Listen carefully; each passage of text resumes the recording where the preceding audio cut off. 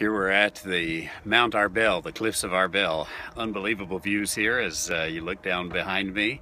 You see where Herod made his mark as he came as a 17 year old young man and went against the rebel Jews of the Galilee area.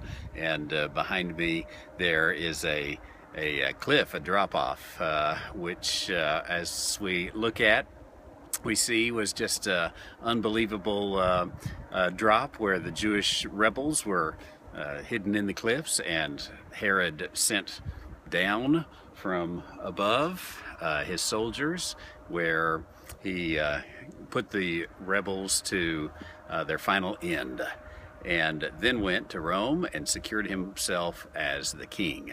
You see the Sea of Galilee in the back and there is uh, the city of Migdal down here. We're from Mary Magdalene and uh, all of the area in which uh, the miracles of Jesus took place.